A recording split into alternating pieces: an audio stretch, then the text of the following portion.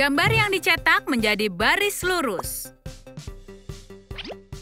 Casing dengan popit berubah menjadi cover popit yang trendy.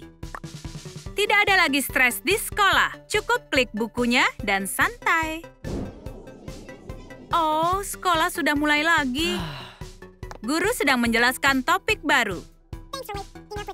Tiba-tiba ada suara aneh di dalam ruangan. Hmm, apa kau membawa popit lagi ke sekolah? Siapa yang melanggar aturan? Tapi guru tidak menyadari apa pun karena Michael membalik halaman. Apa kau membawa popit, Michael? Tidak, Bu Woods, bukan aku. Ibu akan mengawasimu. Ayo kembali ke pelajaran. Gabungkan sedotan koktail dan tusuk gigi.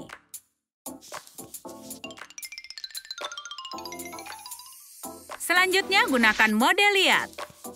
Kita bisa buat binatang lucu darinya. Melodiku benar-benar lucu. Dengan pulpen seperti ini, mengerjakan PR jadi menyenangkan. Tahun ajaran baru dimulai. Aku punya banyak harapan untuk tahun ini. Gadis kita menantikan pertunjukan bakat. Aku ingin memasang poster di mana-mana. Pulpen ini membawa keberuntungan. Jadi ini pertunjukan bakat sekolah. Saatnya menempelkan poster. Hmm, wow. Keren, aku akan ikut. Ayo lakukan. Tapi petugas kebersihan bukan penggemar acara itu. Ya, apa yang kita punya? Kenapa ada banyak kertas di sini? Oh, pekerjaanku jadi banyak. Buat potongan untuk kotak dari karton. Tambahkan garis lipat. Buat bukaan dan lipat. Putar sesuai dengan masing-masing warna model lihat. Isi cetakan model lihat dan masukkan ke wadah. Mari kita bentuk. Anak-anak bisa melakukan hal kreatif di klub ini. Guru menyiapkan tugas yang menarik. Semuanya, hari ini kita akan membuat apa pun yang kalian inginkan dari Play-Doh. Yeay! Keren! Setiap siswa dapat warna sendiri. Baiklah, mari mulai. Lihat, aku punya bunga biru. Ini warna favorit. Dan aku punya hati. Dan aku membuat gaya rambut. Kalian memang sangat hebat. Kalian sangat kreatif. Ayo kita berfoto, senyum.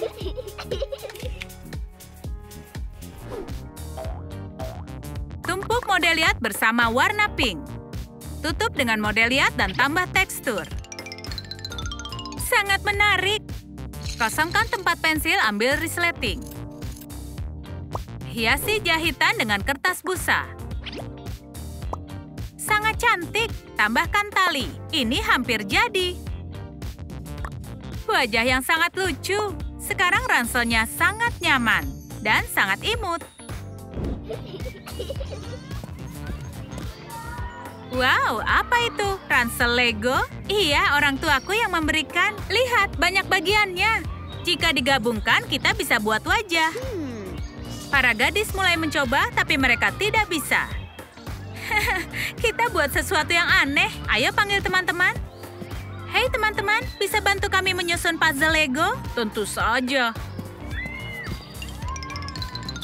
Yeay, kita buat wajah yang imut. Ambil kertas busa.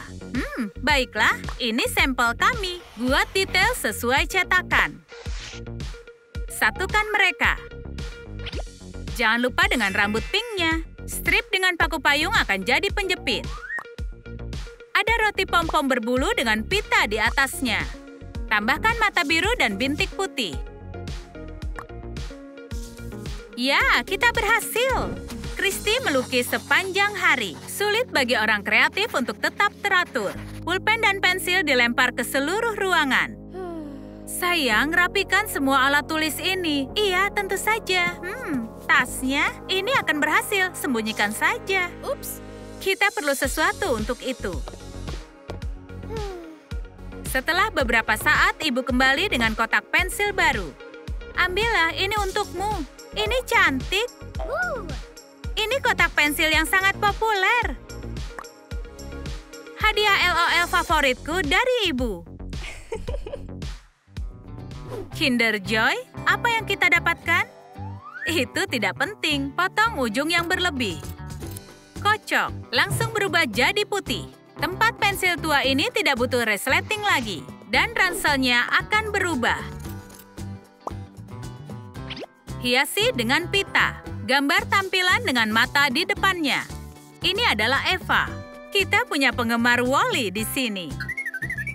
Oh, akhir pekan sudah berakhir. Lebih baik bersiap-siap untuk sekolah. Baiklah, aku akan kemasi ransel. Buku pelajaran, matematika. Hmm, mana diariku? Mungkin di bawah tempat tidur? Benar, ini dia. Oh, aku sangat mengantuk. Mimpi indah, Eva. Aku akan tidur. Waktu berlalu begitu cepat dan alarm berbunyi. Ah, aku ketiduran. Bersiaplah dengan cepat. Tidak baik terlambat di hari pertama minggu ini. Dia berlari ke sekolah. Berjalan di dekat loker dan dia berpikir, Hmm, ada yang kurang. Oh tidak, aku lupa ranselku. Stiker yang dicetak dimasukkan ke dalam tas. Potong plastik dan rekatkan. Wala, tutupi apa pun yang kau mau dengan stiker. Lorong sekolah selalu menyenangkan dan juga semrawut. Lihat laptopmu. Terkena lemparan. Hei, hati-hati. Aku sedang baca artikel. Aku beli stiker baru. Wow, ini keren. Ada gadis yang lewat. Dia terganggu oleh stikernya, jadi kehilangan keseimbangan dan terjatuh. Aduh, stiker itu berbahaya. Hei, kau baik-baik saja? Iya, tidak apa-apa. Oke, ambil stiker ini untuk menghibur. Terima kasih, skateboardku jadi keren. Wow, bisa ku tambahkan beberapa ke laptopku? Tentu saja, ambillah. Keren, terima kasih. Johnny lewat di depan mereka. Bagaimana dengan lelucon? Hihi, stiker di punggungnya. Akan kupenuhi sekolah dengan stiker. Ups, glitternya tumpah. Pekerjaan untuk petugas kebersihan. Pekerjaanku banyak, tidak bisa istirahat. Buat bagian dalam kotak dari kertas busa. Ada banyak kompartemen, nyaman sekali. Gunakan kain mewah untuk menutupi kotak makan dari luar. Oh, telinga ini lucu. Anak kucing yang menggemaskan. Aku bisa bawa makanan ke mana pun. Permisi, boleh makan bersama? Tentu, duduklah. Dia mengeluarkan kotak makan siang bentuk kucing. Wow, ibu, lihat mainan ini. Ini bukan mainan, ini kotak makan siang. Keren. Kau mau pisang ini? Terima kasih. Senang bertemu denganmu. Dah. Halo, iya, aku dalam perjalanan ke sekolah. Ups, kapan dia akan menyadarinya? Patung seorang putri terhubung dengan sarung jari. Bungkus rok dengan model liat. Wow, kantong ini sangat besar. Tambahkan glitter. Kau bisa masukkan semua jenis barang ke dalam saku ini. Oh, aku sangat lelah. Aku perlu istirahat. Sayang, kau harus selesaikan PR-mu sekarang juga. Baiklah, Ibu. Dia mulai memecahkan masalahnya. Dia menulis sedikit dan dia bosan.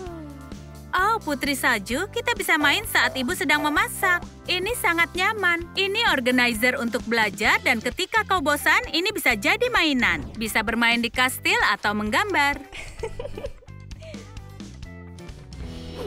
Ambil bola styrofoam. Untuk menutupi bola dunia, kau membutuhkan bentuk khusus.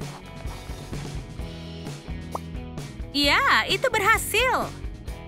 Ini cincin plastik, topi, dan tutupnya. Bersama-sama mereka menjadi dasar hitam untuk bola dunia. Ada manik kristal di ujung penahannya. Segarkan pengetahuan geografi kita. Gadis ini ingin menjadi travel blogger. Dia pandai geografi dan tidak pernah melewatkan kelas ini. Anak-anak, kita akan belajar benua dan negara.